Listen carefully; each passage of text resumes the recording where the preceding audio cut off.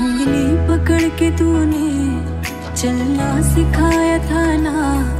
दहलीज ऊँची है ये, पार करा दे। बाबा, मैं तेरी मलिका, टुकड़ा हूँ तेरे दिल का। एक बार फिर से दहलीज पार करा दे।